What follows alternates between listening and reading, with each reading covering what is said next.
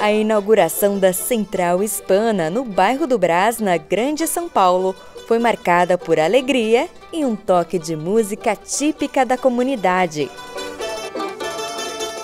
Quando a gente consegue reunir-se com as pessoas que têm as mesmas costumes, as mesmas crenças e a parte da mesma cultura, eles conseguem manifestar e expressar melhor a sua cultura. O espaço tem capacidade para reunir 126 pessoas e é comandado pelo pastor Wilson Condemaita. O local faz parte de um projeto da Igreja Adventista com a comunidade de imigrantes.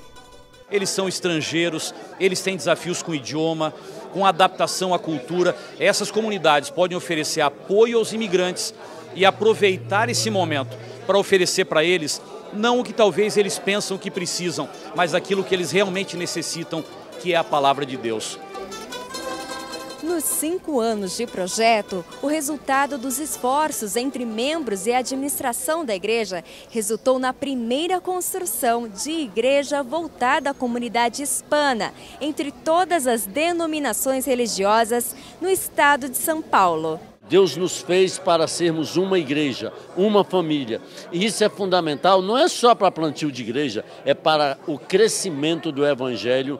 Logo na fachada do prédio, é possível ver a diferença do antes e o depois, que expressa o crescimento de uma comunidade que não deve parar por aí.